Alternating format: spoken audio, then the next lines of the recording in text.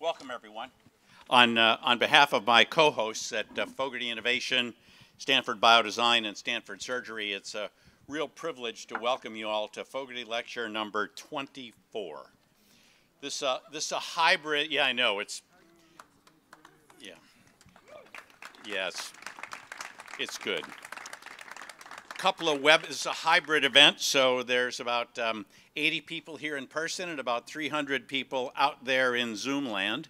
Uh, and uh, so for those in Zoom land, uh, this is a one-way broadcast, so you won't be seen or heard, probably. Don't do anything really stupid. Uh, and finally, the broadcast is being recorded, uh, and we'll have it available on the web for future uh, education.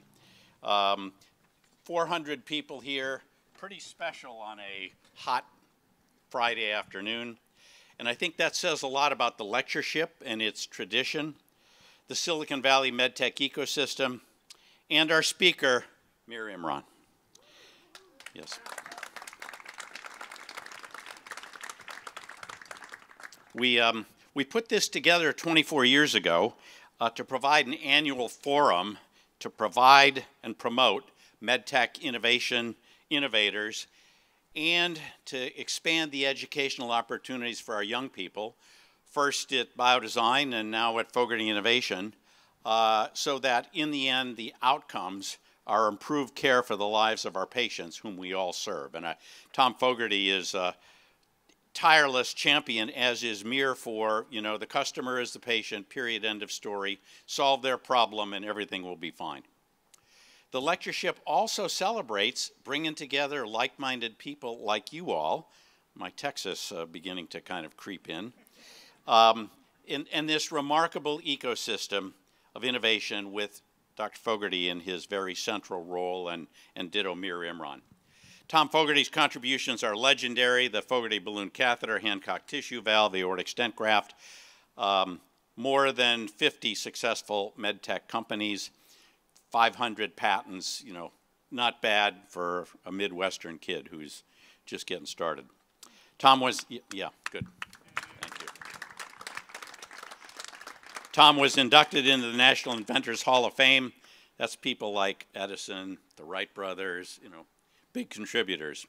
15 years ago on this site, well, not on this site actually, Tom founded the Fogarty Institute a not-for-profit medtech educational incubator with the goal of facilitating the training of the next generation of Tom Fogartys. And that mission continues under Andrew Cleland's incredible leadership uh, at Fogarty Innovation. So Andrew, thank you very much. In, in 2014, we had a unique opportunity when Dr. Fogarty at the White House received the National Medal uh, for uh, Technology Innovation from then President Barack Obama. Dr. Fogarty's bio is in the brochure. It's pretty good reading. Um, and take a look at the past lecturers. It's a who's who in medtech and technology innovation. 23 in all.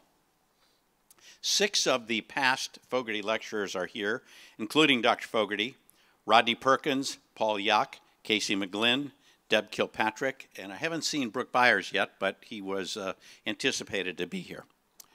Mir Imran, the 24th Fogarty lecturer, is a most worthy addition to the roster. Mir is chairman and CEO of InCube Labs, a prolific healthcare innovator and entrepreneur who has been developing, commercializing, and solving patient problems for over 40 years. Mir's wife, Christine, and extended families join us uh, in the second row there. Thank you all so much for sharing Mir and for your role in Mir's journey.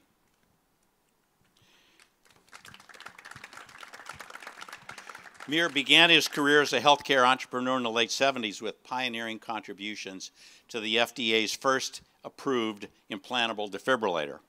Since then, he's founded more than 20 life science companies two tech companies, and 13 of the med tech companies have gone on to see liquidity events.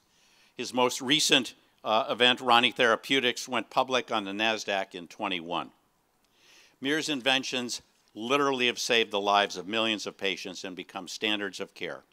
He's developed innovative therapies for a number of chronic diseases, and we just mentioned Rani. Mir holds more than 1,800 patents worldwide. QMed named Mir as one of the top 50 medical inventors of all time. Think about that. He's a fellow in the National Academy of Engineering, the National Academy of Inventors, and the American Institute of Medical and Biomedical Engineers. He also is co-founder and managing director of InCube Ventures, a medtech biotech venture capital firm. He served on the boards of multiple life science companies and on the advisory board for Lemelson and an adjunct professor at the University of Pittsburgh. He actively supports education and training uh, in innovation and entrepreneurship, both in the United States and in India, especially for underprivileged kids. Mir's bio is also in your booklet, and it should also be a source of inspiration. Please join me in welcoming Mir Imran.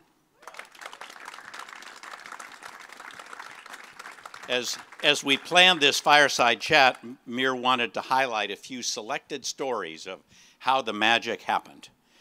Uh, we all know Mir, before we dig into the medtech, two little interesting trivia bits.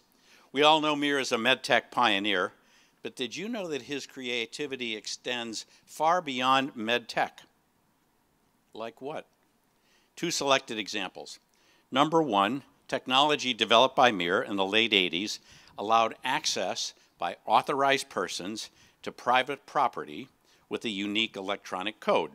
It also documented access and monitored. It was acquired by Supra GE in 1989. We all know it as the lockbox. Voila. Number two, technology developed at InCube Labs provided a safe and less intrusive alternative to metal detectors and pat-downs. Can you imagine what that might be used for? It was sold to L3 Communications in two, 2006. We know it today as the Airport Body Scanner, ubiquitous in the world's transportation networks, and those of us, like me with a joint replacement, know it well. there you have that.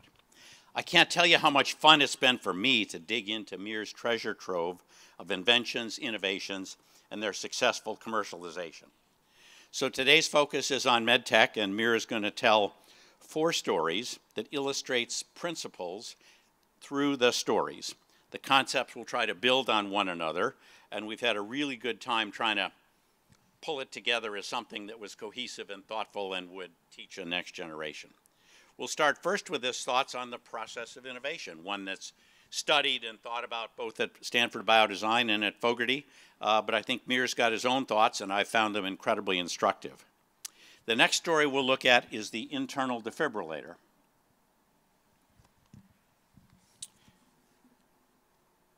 A remarkable piece of equipment uh, solving a, uh, a, a, a really life-threatening problem. The third piece will be the diagnostic mapping uh, and, and ablative therapy for cardiac arrhythmias. And finally, Rani Therapeutics' approach to put an injection in a pill. So with that, Mir, let, us uh, have you kind of start talking through with us how you think about the process of innovation, how you work through a sequence of a problem, potential solution, commercial success, uh, and bringing it to the bedside. So again, it's wonderful to have you here, Mir. Thank you. Thank you.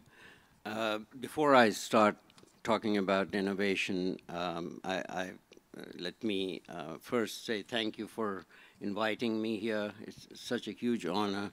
And um, uh, Tom, you have been, uh, uh, whether you like it or not, you have been a mentor to me for the last 35 years. Uh, and you may not know this, but I have really learned a lot just watching you.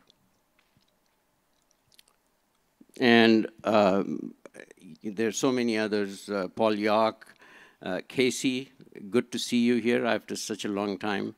Um, and uh, Rodney is, where's Rodney? Don't see him yet, yeah. But, uh, and Josh Makower, he's another icon in uh, uh MedTech. Josh, uh, so good to see you. I'm glad you're back in the Bay Area.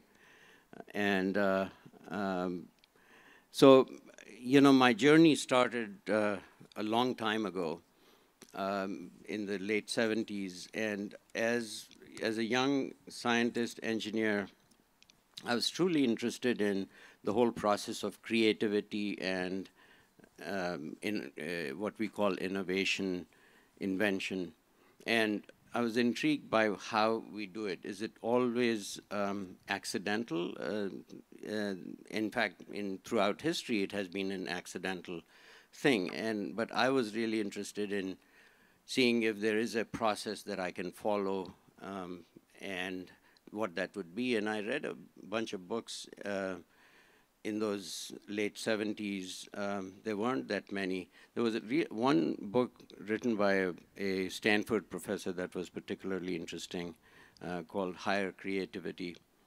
Um, but even that didn't explain what, how to do it, how, how to practice innovation at will, how to do that at will. And so I decided, and I was doing some of these innovations on on my own. Probably intuitively, I was I knew I was following a process that I couldn't articulate. So I decided to become an observer of that process in me. So it, it, to see if there was a pattern that would emerge, and it took the next 15 years of conscious observation and uh, and um, trying to figure it out. And really, in around the mid 90s, early to mid 90s, I began to see um, uh, uh, some hope of understanding that. And and um, so the other thing that I decided to do is de define the terms around innovation. When we talk about innovation, uh, we use the terms very loosely. You know, innovation itself is a word that uh, um, has got so many meanings, and you know, from politicians how they use it to scientists and lay people, it means different things to different people. But in the context of practicing in innovation, um, I decided to define it, and and because if unless you define something, you cannot own it, you cannot teach it. Uh, so and and I uh, so the the simple definition that I came up with was innovation is the identification of a problem that's worth solving and framing of the problem which by that I mean really understanding so deeply that you can create you know frame it very succinctly. It doesn't matter you, it's not the solution. To me the solutions are the uh, inventions that that emanate from that that definition, that that framing. So that that, has really helped me um, um, because I, from that point on, I've just focused on problems. I don't care about solutions because once you frame it, once you identify a problem and frame it, uh, without even solving it, there can be a dozen people who'll solve it with many different inventions. So um, to me, that was a very uh, powerful insight that, that uh, I gained.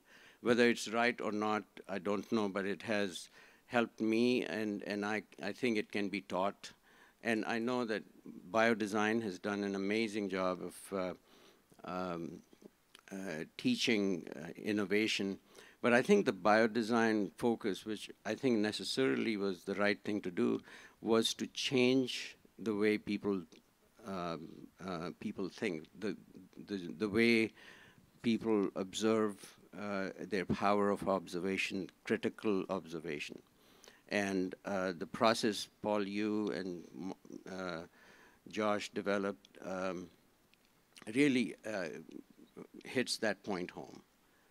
And um, so um, by need finding, you know, uh, coming up with an irrational number, you know, go find uh, to 500 problems.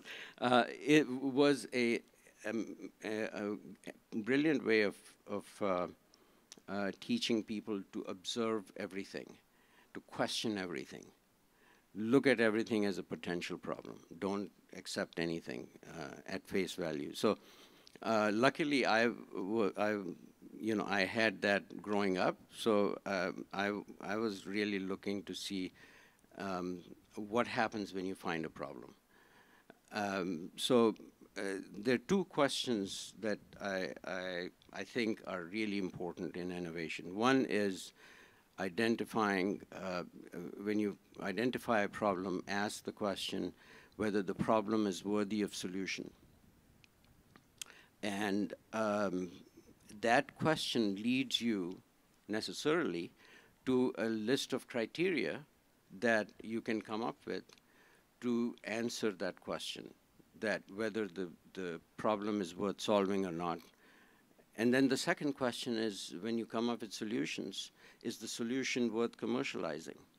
When you, and, and for each one of those questions, you can come up with attributes of problems and attributes of solutions that are, um, that can be used um, to filter out what you shouldn't be working on. Not every problem needs to be solved, and not every solution has commercial potential. So um, those are the simple things that I learned um, just observing what I was doing. And I, again, uh, Paul, one of these days you'll have to tell me where, um, uh, you know, where there are gaps in my understanding. Yeah. Yeah, it is interesting that the the great innovators around and the two or three major medtech incubators are all thinking very much in terms of the, you know the same line of reasoning that if you really understand the problem, the solution almost becomes self-evident. And you know, Josh and Paul have frequently said that becomes the DNA of, of the of the solution. Mir, you you know, in our conversations, you talked, uh, I thought, thoughtfully about incremental innovation versus disruptive innovation. You've tended to focus on disruptive. You, you have a thought or two on that? Yeah, so um, uh, so the definition uh, is uh, kind of obvious, but as, a, as an engineer, I like to define things. You know, I, I don't like to leave things to imagination. Um, so incremental innovation clearly is uh, an improvement to an existing product or service that makes that product or service better. So that's kind of obvious. When you talk about disruptive innovations, generally speaking, you are rather than focused on a specific problem, a, a, specific solution to improve it, you have to go back to the problem and perhaps redefine it, re-understand it, and, and maybe that new understanding leads to a disruptive solution, disruptive innovation. So one is focused on existing solutions, how to improve them. The other on focused on problems uh, that uh, you, you spend time with that problem, understand it, iterate on the solutions till you get a good solution. And that once you have that, a, a disruptive solution, then the uh, for life cycle, it goes into the cycle of um, uh, incremental innovations. Yeah, yeah. Every, every product does that. That's right. The copycats follow. And I think Mir in his discussion with the student teams this afternoon kind of pointed out that while disruptive innovation is by definition harder, uh, the, the intellectual property space is much more wide open because you're not plowing the same ground uh, and the opportunities are typically much greater. And I think uh, uh, the, the second story we're going to touch bases on here uh, is one of Mir's most um, profoundly disruptive solutions, and that's the implantable cardioversion defibrillator work begun in the 70s. So as Mir and I talked, he, he pointed out that the, the problem to be solved was the detection. Got to know that it's V, VFib, and not VTach, and that's an interesting, really sidebar conversation, but uh, for, for the electrophysiologists in the uh, audience. But then to treat it with an implantable system, because otherwise we wait till someone falls down on the ground in cardiac arrest, and then we go look for a, a, a external defibrillator. There's a large body of patients that are at high risk, having had previous arrests, and so Mir, you know, you think about that's like that's a 10 year problem, bare minimum, the day you start thinking about it.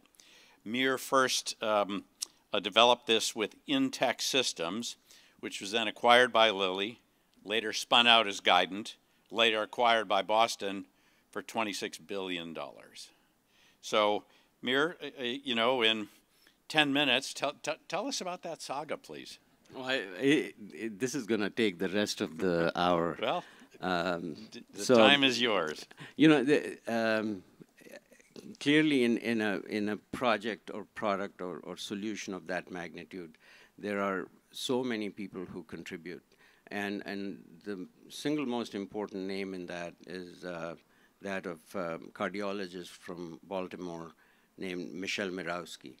Uh, Mirowski was just an amazing guy. He was a passionate guy.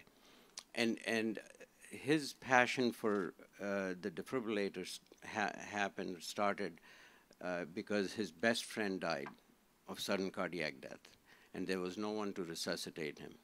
So that became a lifelong um, uh, journey for him.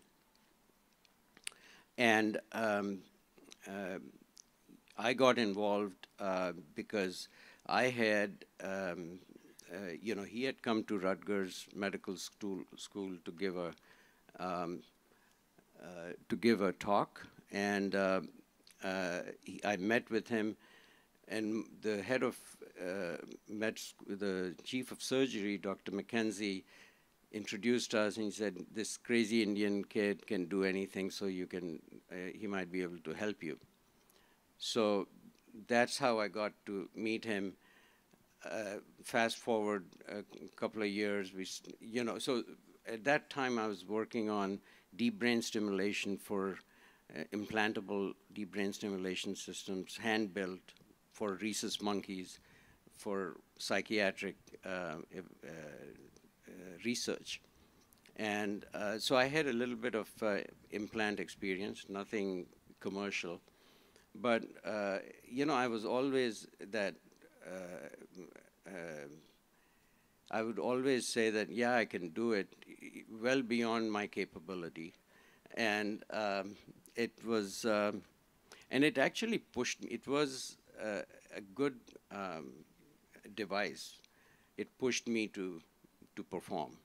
Uh, once you say I can do it, you have to prove that you can actually do it.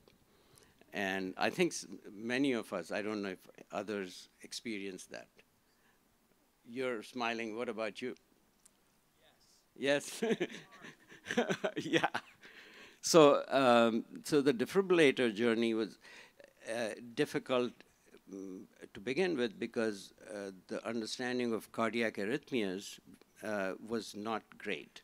Um, and our understanding at, the, at that time was that people died of uh, fibrillation, spontaneous fibrillation. So our first device we designed to detect only fibrillation. And tachycardia, which is, you know, spiky signals, were ignored.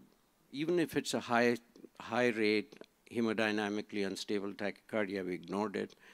And the first 10 patients would, uh, and these were really the sickest patients, they would have an episode, they would fall down, and the device wouldn't fire for minutes and until their VT de deteriorated into VF and they're on the brink of death when it, this device would wake up and shock them and bring them back.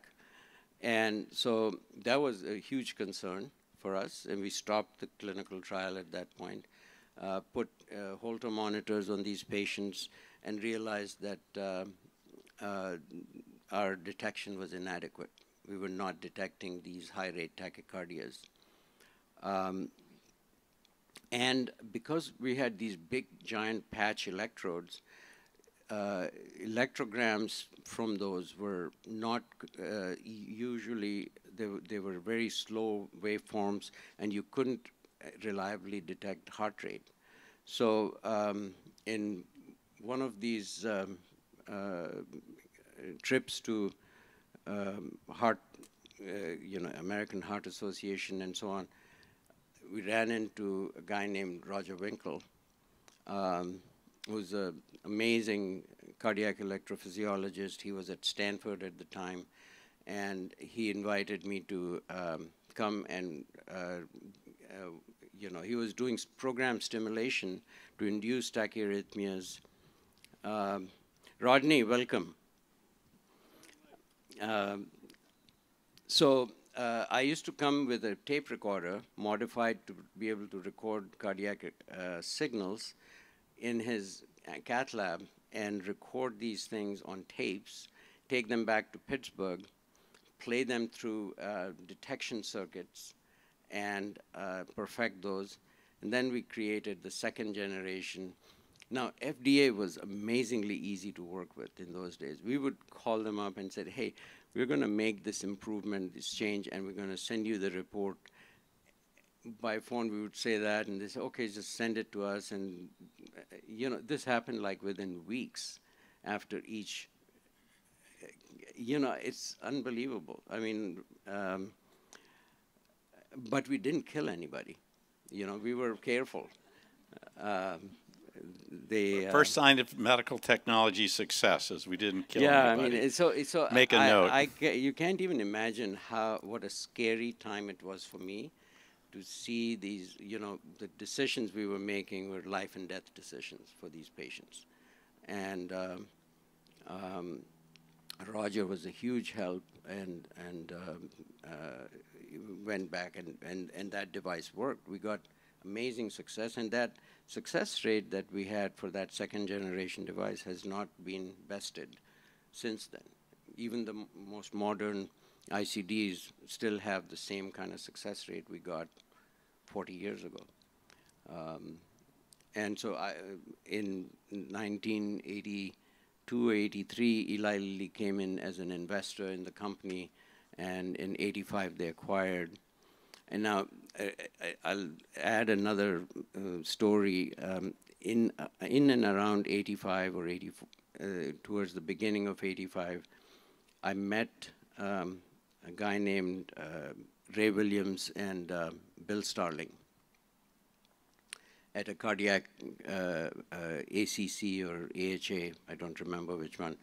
And um, they said, you know, Mir, you got to come out to California and help us, you know, let's build another defibrillator company.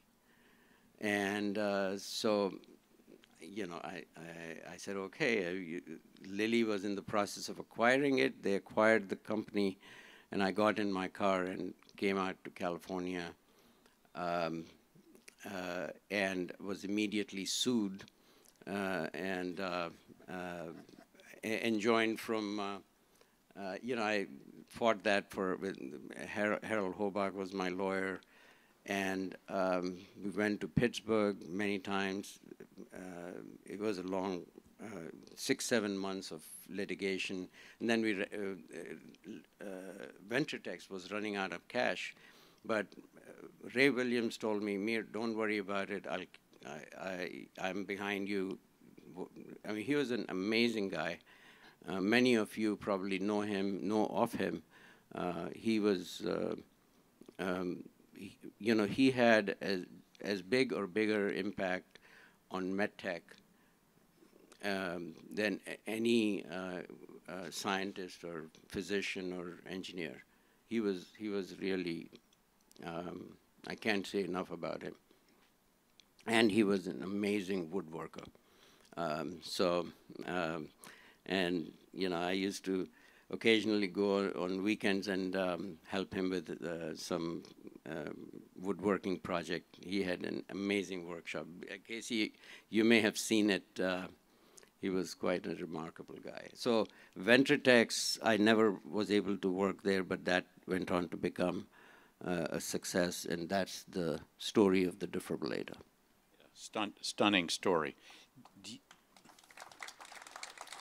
Do you have that original device? I do. I left it in the. Ah, okay. So, so, so at the uh, at the time of the reception, Mir has Smithsonian Institute quality um, devices, and uh, you know it's pretty hefty. Uh, but uh, obviously, it was about about just shy of a pound, one pound of yeah. solid metal implanted in the belly, and yeah. and then tunnel wires tunneled to the heart you know, it, was barbaric, you know. Uh, what can I say? But it saved lives.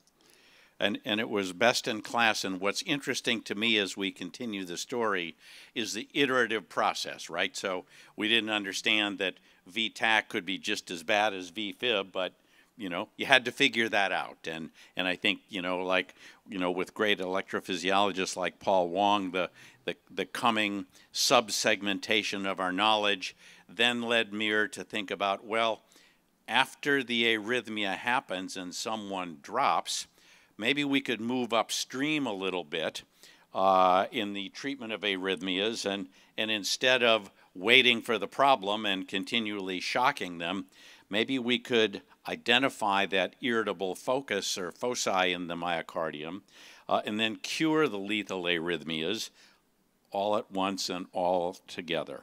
So this involved a, another piece of the diagnostic piece of diagnostic mapping and detection of arrhythmia foci, and then the targeted destruction of the lesion.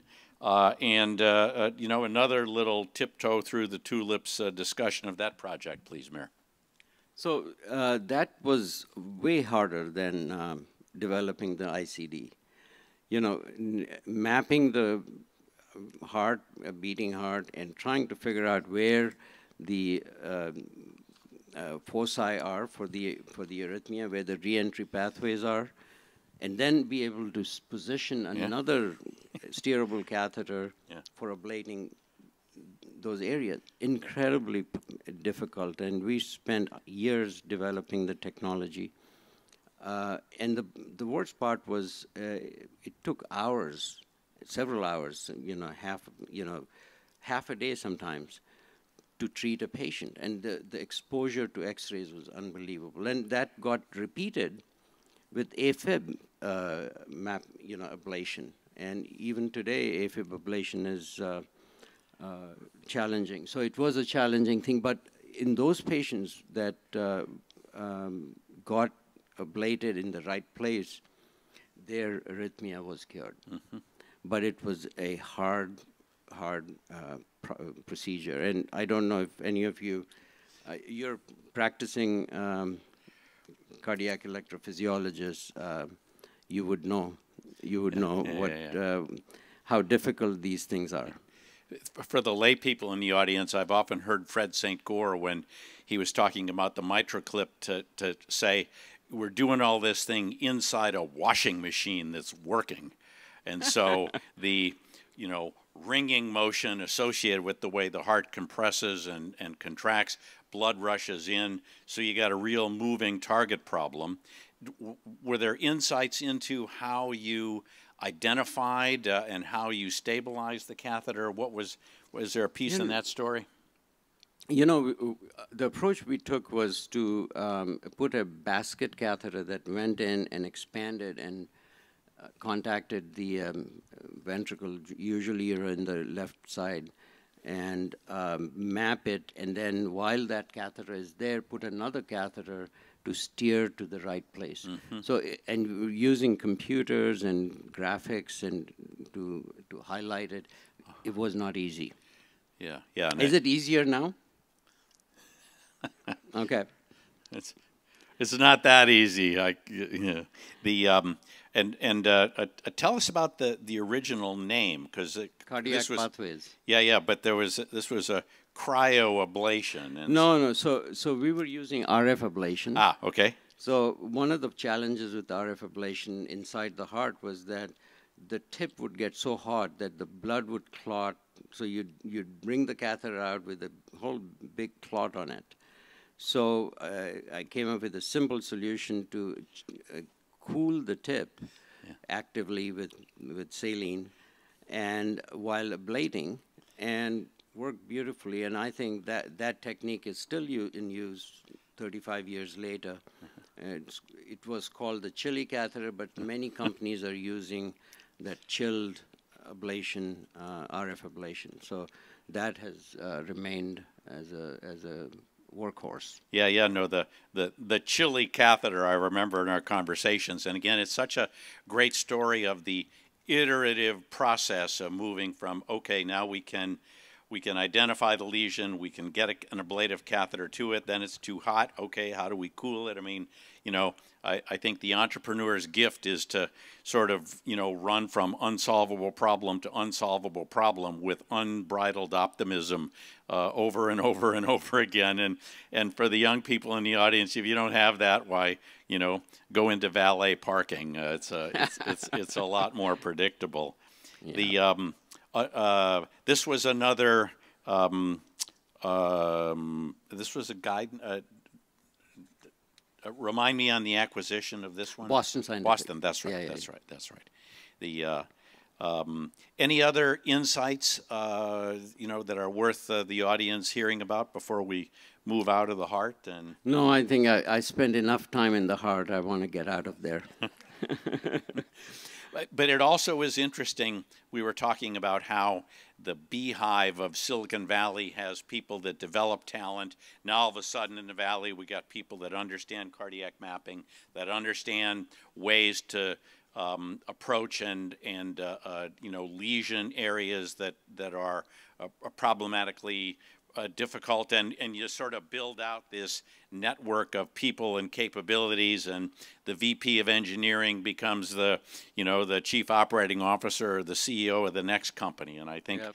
you know, that's been a really powerful component. Uh, you know, sometime it'd be fun to do kind of a genealogy chart of, you know, the, you know, the, the, the Fogartys and where'd they go, and the John Simpsons and the Yocks and the Perkins and the I mean, I think it's just, you know, having now been out of the valley for 18 months, you really appreciate the deep, deep experience that is resident in in people who live here and that are your friends and colleagues. I mean, it's pretty special. And then we aggregate them at places like Biodesign, aggregate them at places like here, aggregate them at, or aggravate them maybe at places like InCube.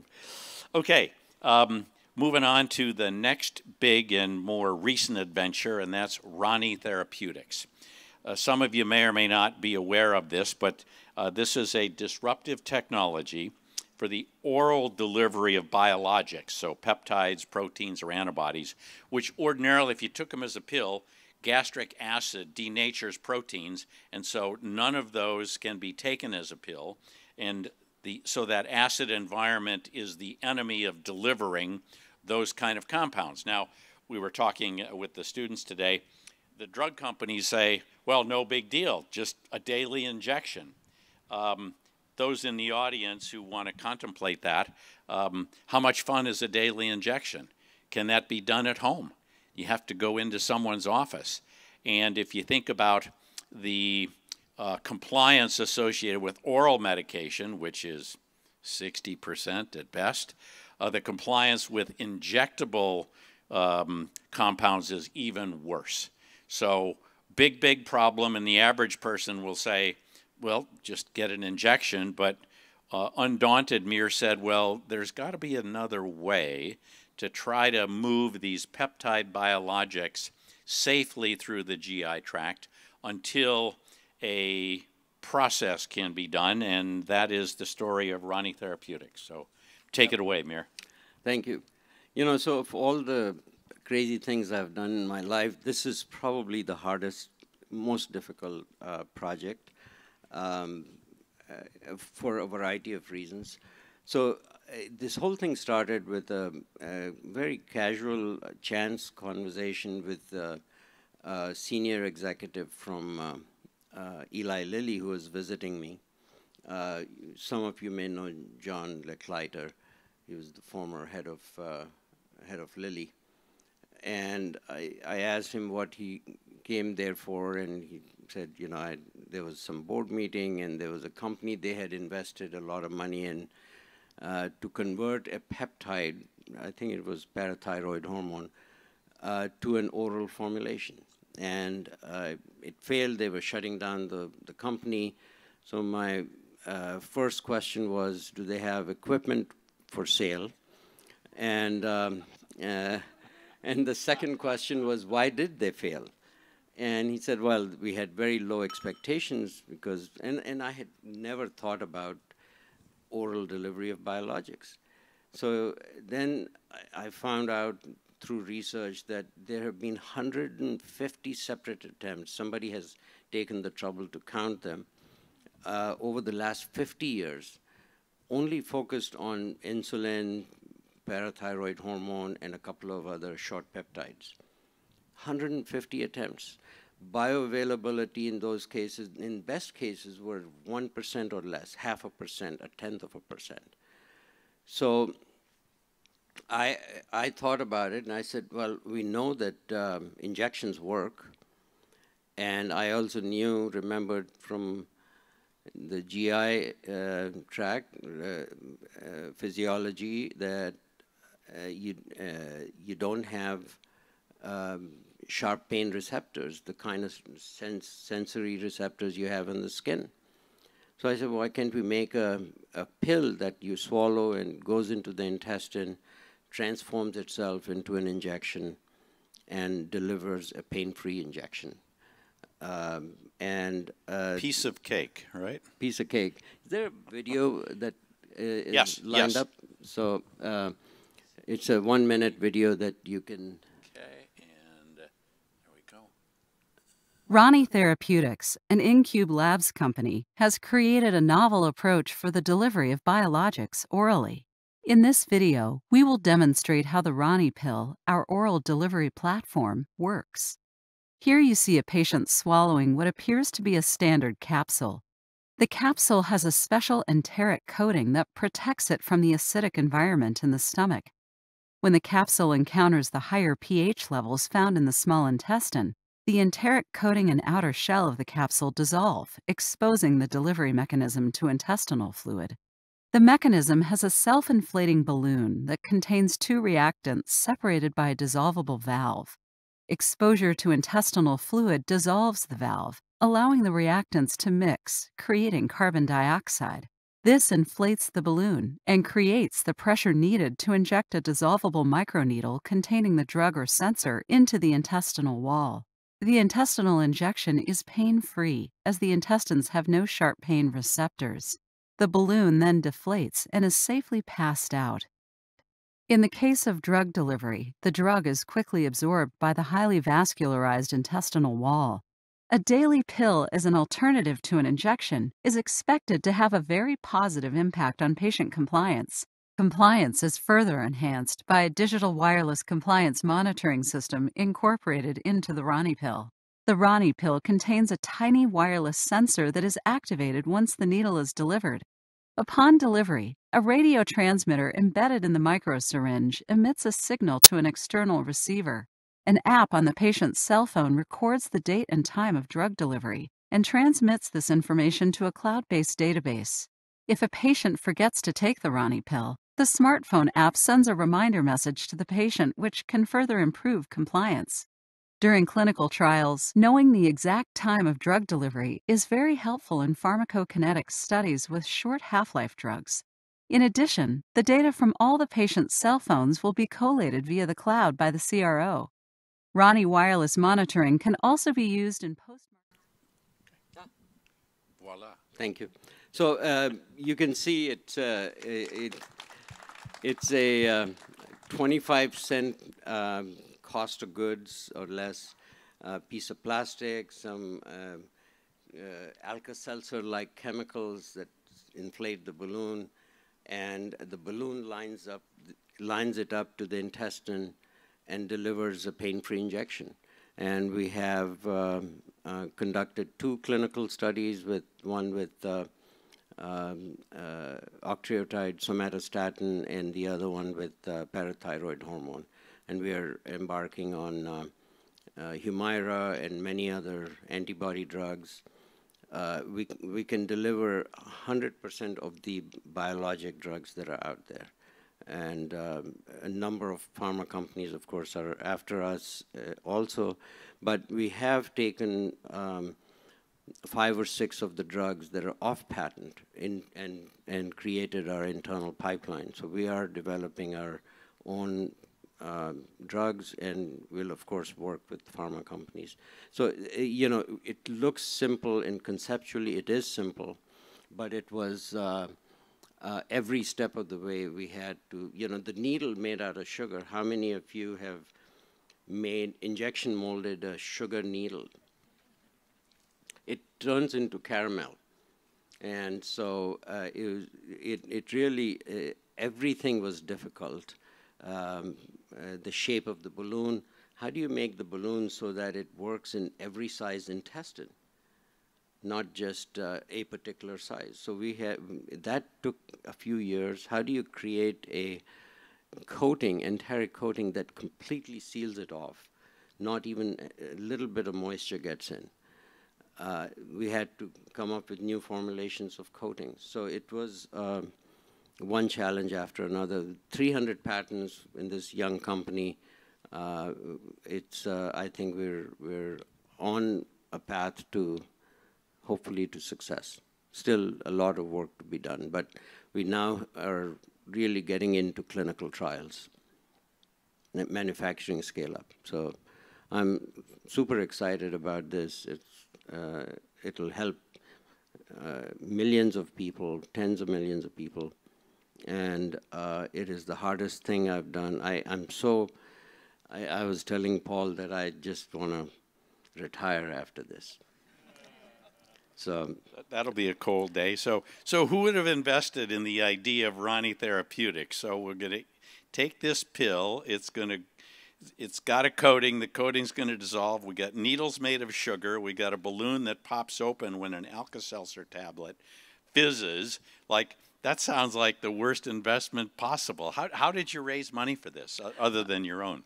Um, you know, we were the first. My fund was the first investor.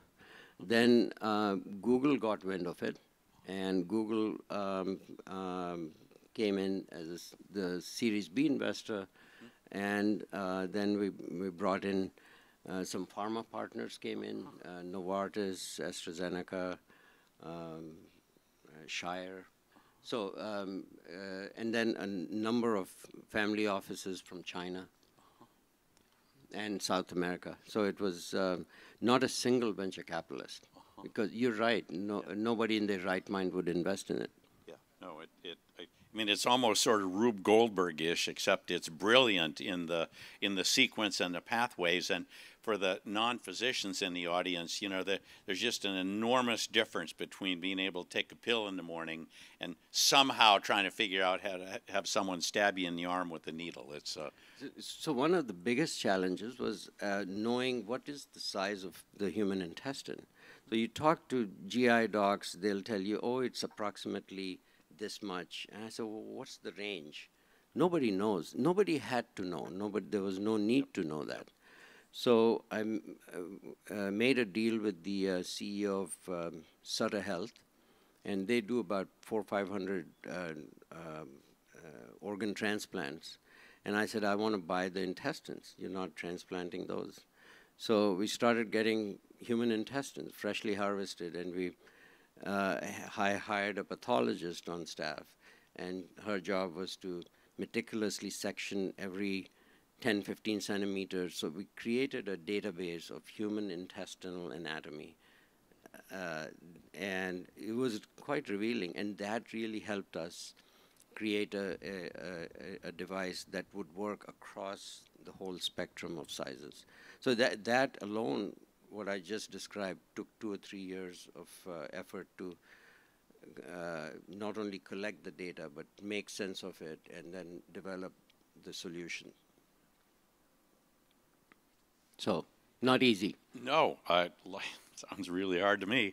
Um, I think if a biodesign kid had come up with this, we'd we'd have probably told him to go do something a little easier. But that's that's the beauty of you know blue sky kind of thing and and a lifetime of experience. So Mir, how do you think about that challenge of now you got this thing and you got multiple competing companies all of whom want to use it and do you want to stay Switzerland or do you want to capitulate to the highest bidder? Or how, how do you think about that? Well, there are approximately 100 biologic drugs out there. Uh-huh. And so we will, you know, we're in conversations right now mm-hmm.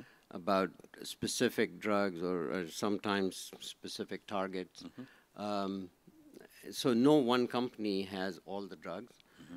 So I think we're going to end up with multiple partners potentially. Nice, nice, nice.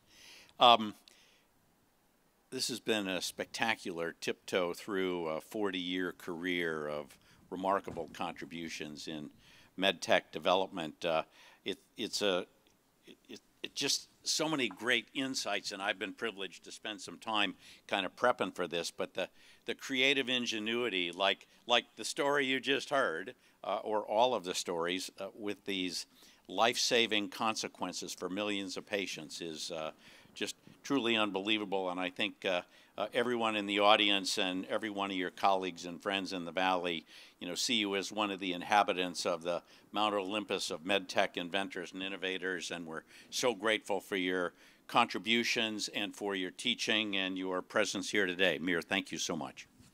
Thank, thank you. Thank you.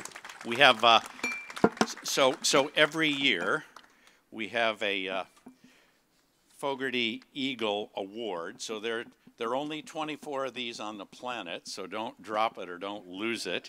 And the, the concept is the, the taking flight of uh, young, uh, of, of young ideas and, and, uh, and young-minded people. Uh, and, and again, I think these have just been priceless stories, and so we're, we're so grateful. There's, there's an opportunity now, uh, we'll get into the refrigerated part of the thing for uh, a wine cheese reception and a chance to uh, reconnect with each other since it's been such a long time since we've uh, all had a chance to congregate. So again, thank you all for your participation, and here, thank you.